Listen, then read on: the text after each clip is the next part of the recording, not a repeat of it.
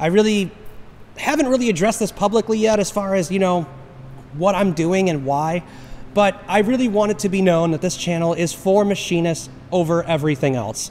The person working in a shop every single day, I try to create things that might educate you or be funny. It's kind of both, right? I try to sometimes joke around as well, but mainly I'm trying to show cool stuff at my job that I think you might find interesting as well.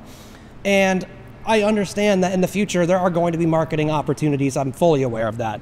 But I really want you, the viewer, to know, my audience to know, that the main goal of this channel is you, is making sure we always stay true to you and not just cram products down your face for the sake of cramming products down your face.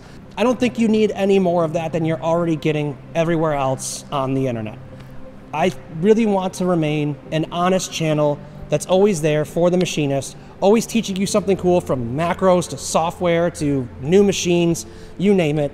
That is the whole mission statement of this channel. If there is something cool that I see out there that someone wants me to show off and I do think it benefits you, then yeah, of course I'm going to show you that. But I'm not just going to act like this, you know, ER collet holder is the most insane thing you've ever seen. I'm not going to do that. I, I don't think you need any more of that than there already is out there. So it's important that you know that. That is the mission statement of this channel.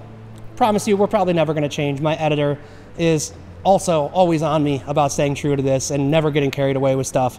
So yeah, it ain't going to change, baby.